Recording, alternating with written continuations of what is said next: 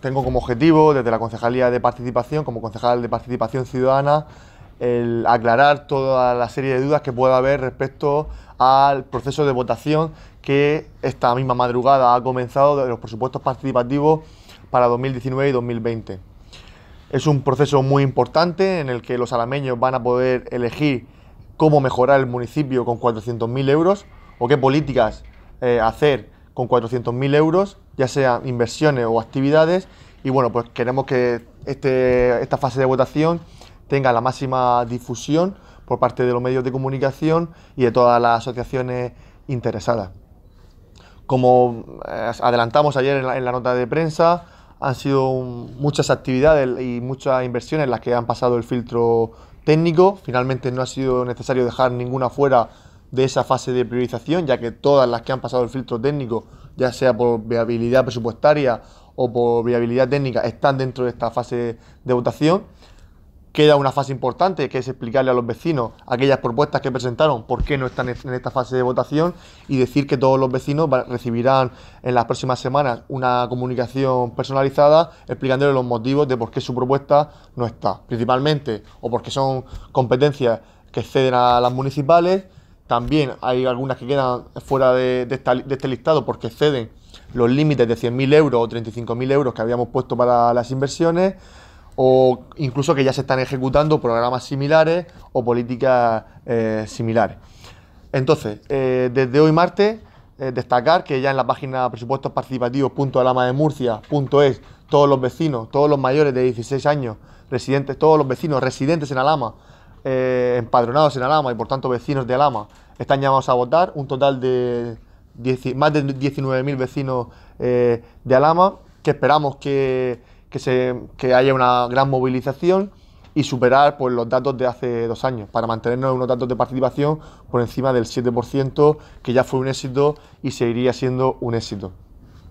La votación online se puede hacer desde cualquier dispositivo, ya sea móvil, desde una tablet o bien desde un ordenador y decirle a los vecinos que pueden votar hasta cinco propuestas de inversión y hasta cinco propuestas de lo que llamamos programas o actividades. Cuando terminen esa fase de cuando termine la votación, encontrarán tres apartados en los que tienen que rellenar su nombre y apellidos, DNI y un teléfono de móvil. Cuando le den a enviar el voto, recibirán un mensaje de texto en su teléfono móvil con un código de verificación. Deberán introducir ese código y verificar. Cuando terminen esa votación, esa verificación, podrán ver que les aparece un, mensaje en la pantalla de que su voto ha sido validado correctamente, ¿vale? De todas formas, decir que si cualquier vecino tiene dudas a la hora de, votar electrónicamente, también puede hacerlo presencialmente. ¿Cuándo se van a poner las urnas de forma presencial? Tenemos la intención de habilitar en los próximos días de esta semana una urna en la puerta del ayuntamiento, sobre todo para darle información y difusión. Como viene siendo habitual, durante el fin de semana nos desplazaremos a las pedanías. Estamos estableciendo un horario de entre dos, una hora y media y dos en cada pedanía para acercarle a los vecinos de las pedanías ese derecho a participar. Y también el último día de la votación, que es el martes 29, tendremos puntos de votación en los seis colegios públicos, dos guarderías y dos institutos públicos, ¿vale? Eh, coincidiendo con las entradas y salidas de los alumnos, pues desde las ocho y media a las nueve y media y desde las una y media hasta las dos y media aproximadamente, ¿vale? Para facilitarle a los padres que cuando vayan a dejar o a recoger a los niños del colegio, pues puedan votar. Y la peculiaridad de que en los institutos habrá una tercera urna referida a los presupuestos juveniles, en los que van a ser únicamente estos mayores de 16 años que están en los dos institutos de Alama, los que decidan cómo invertir parte de este presupuesto municipal, esos 10.000 euros que reservamos para, para los jóvenes. Y por mi parte, eh, muy poco más, animar a todos los vecinos de, de, Alama a que participen, a que tomen parte en este proceso en el que se van a decidir eh, inversiones y programas por valor de 400.000 euros que van lógicamente a tener un poder importante de, de modificación de nuestro entorno urbano en los próximos años. Destacar que ha habido mucha participación de asociaciones, sobre todo relacionadas con la educación, eh, colegios y AMPAs, también a nivel eh, medioambiental. Varias asociaciones de vecinos, principalmente de las Filipinas, se han también asociado para presentar numerosas propuestas y bueno, pues es de agradecer que cada vez sean más vecinos los que se involucren, los que se informen y los que tomen parte en este proceso tan ilusionante de, participación ciudadana. Bueno, tienes muchos besos, como he dicho, las, de educación. Todos los colegios están representados, todos los colegios públicos tienen incidencia. Eh, a pesar del gran esfuerzo económico que se ha hecho y del, gran proyecto de, choque para conseguir que todos los colegios tuviesen pizarras digitales, que tuviesen aparatos telecondicionados, pues ahora vemos otro tipo eh, de mejoras que en muchos casos están en la línea roja entre lo que es el mantenimiento o ya son inversiones, que están en la línea roja de si son competencias municipales o no, pero creemos que qué mejor forma de que sean los vecinos de Alama los que decidan, por ejemplo, si el Ricardo Corniu o el Ginés Díaz, que son colegios que están alejados de los pabellones municipales, pueden tener una, una cubierta que mejore, una cubierta que cubra total o parcialmente una de las pistas deportivas para mejorar sus instalaciones o una reforma integral tan importante como puede ser los aseos que reclaman desde el Virgen del Rosario. Por lo tanto, propuestas de educación con mucho peso y nosotros, lógicamente, pues en nuestra línea es apoyar a la educación. También hay algunas de,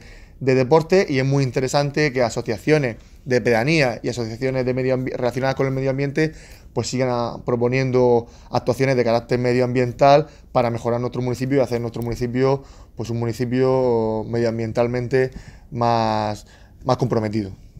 Eh, la ventaja con la que cuentan las pedanías es que tienen asociaciones vecinales con mucha tradición histórica. Hace poco se celebraba el 20 o 25 aniversario de la Asociación de, la Costera. Hay muy pocas asociaciones en el municipio con tanta trayectoria y eso es una fortaleza a la hora de canalizar eh, sus demandas. Hay mm, demandas de cuatro de, las cinco pedanías del municipio y eso también pues, es de, de agradecer, que se movilicen y que sigan pidiendo cosas. Eh, muchas veces ya no hemos pasado unos presupuestos participativos de mantenimiento en el que eh, quizás hace dos años había muchas propuestas para mejorar instalaciones que habían sufrido un deterioro o un abandono durante los últimos años y ahora ya los presupuestos participativos son unos presupuestos participativos en positivo, unos presupuestos participativos en los que la ciudadanía piensa ir un poco más allá y cómo mejorar eh, la ciudad ya no dicen que les cambien las farolas fundidas de su calle, sino que dicen que el, Ayuntamiento de Lama apueste por la tecnología LED o que apueste por placas fotovoltaicas para seguir reduciendo, como hemos hecho estos cuatro años, eh, la factura de la luz. Es decir, que los vecinos ya están en la dinámica de intentar, con esos 400.000 euros, no parchear ni mejorar eh, ciertas cosas, sino de ir más allá y de hacer reformas integrales que mejoren la calidad de vida de todos los que habitamos en esta villa en el anterior boletín que repartimos en, en todas, las, todas las casas venía la explicación, quedaban algunas horas por ejecutar y bueno, destacar eh, principalmente la de la grada del auditorio que ya está en licitación. Si, si entráis al perfil del contratante del Ayuntamiento de Alama, que os enlaza con el perfil de, la plataforma de contratación del sector público, ya podéis ver que por, por valor de 140.000 euros está la remodelación de la grada del auditorio, que las obras se adjudicarán en las próximas semanas, que comenzarán próximamente y que cuando llegue junio, esos finales de curso, esas, grandes actividades que aglomeran a tanta cantidad de vecinos de Alama en ese espacio público, pues habrá una grada más segura y pues con, totalmente renovada. Además, había otros compromisos eh, que no estando dentro de, las más votadas, dijimos que las íbamos a ejecutar y una muy importante que esta mañana me, gustaría destacar, que también está en fase de contratación, es la iluminación de la vereda de los secanos. Como sabéis, desde que termina el núcleo de los secanos hasta el Jarro del Oro, todo ese tramo de vereda está sin iluminar, luego del Jarro del Oro hacia los molinos también está iluminado, fue una reclamación de unos vecinos en su día, que aunque no recibió eh, votos suficientes para estar dentro de esos 160.000 euros, tuvo más de 300 votos y nos parecía lo suficientemente importante para incorporarlo a nuestro programa político de estos cuatro años y pues una vez que terminase la legislatura tenerlo ejecutado. Son muchas propuestas las que se han ejecutado, lo importante es que se, que se, que se ejecuten todas las que los vecinos priorizados y además muchas de ellas que gracias a esa participación y a esa involucración de, de los vecinos pues ponen de manifiesto en la agenda política la necesidad de las mismas y que lógicamente el equipo de gobierno o otros partidos políticos hacen suyas y elevan a pleno esas reclamaciones. La de mayor cuantía en este caso serían 100.000 euros, que es el límite. Hay dos propuestas o tres propuestas que rozan esos 100.000 euros, que son la cubierta del, del Ginés Díaz, la cubierta de una cubierta en, el Ricardo Corniu y la remodelación de los vestuarios la construcción de unos vestuarios en el complejo deportivo Guadalentín, aprovechando las instalaciones de la cantina de la piscina de verano que nunca se han llegado a utilizar. Es decir, convertir ese edificio en vestuario, ya que pues son muchos partidos de fútbol los que se juegan y ahora que llegará el tema del atletismo, las competiciones de atletismo, pues es muy difícil hacer ese encaje de bolillo para, para cuadrar los, los vestuarios. Y la de menor cuantía, pues algunas pequeñas propuestas, sobre todo en los programas de actuación, de 1.200, 2.000 euros, de hacer actividades diversas para diversos colectivos. Eh, son, son muchas en esa, en esa cuantía. Todos los vecinos están llamados a votar, los mayores de 16 años, y pueden votar hasta, mínimo una y hasta cinco propuestas, tan, por un lado, de, las propuestas de inversión y por otro lado, las propuestas de las actividades o programas. Es decir, puede priorizar un total de 10, de 10 acciones. 5 relativas a inversiones y 5 sobre actividades o, propuestas. Y